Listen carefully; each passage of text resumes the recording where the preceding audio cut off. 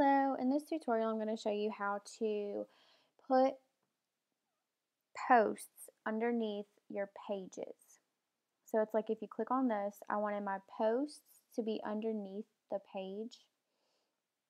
And for the life of me, I could not figure out how to do this. But um, say we come here to your dashboard and you want to make sure from the start that you have your categories correct. Your categories are whenever you go to add a new post, your categories can be found over here.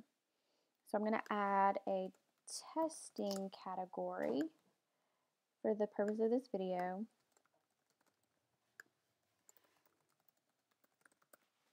And this. And we'll publish this. and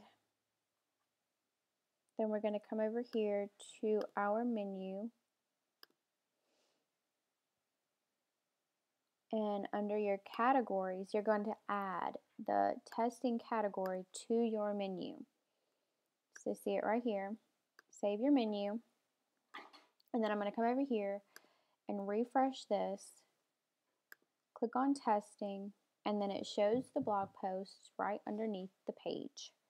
If you want to add, um, so say you have something you want to add underneath it. So you want a post not to show up here, but to show up underneath it so they can click on it.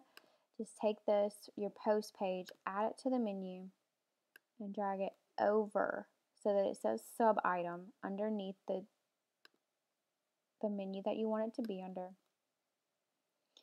So see it doesn't have anything here, but when I refresh and it updates, you have a drop down that people can click on. So that's how you can add posts in pages and under sub, excuse me, menus in WordPress. I hope this was helpful. If it was, drop a comment below.